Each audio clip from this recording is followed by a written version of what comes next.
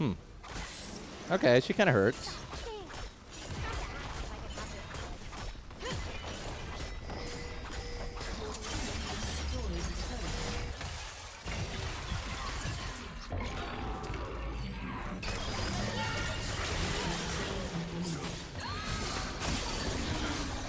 Mmm.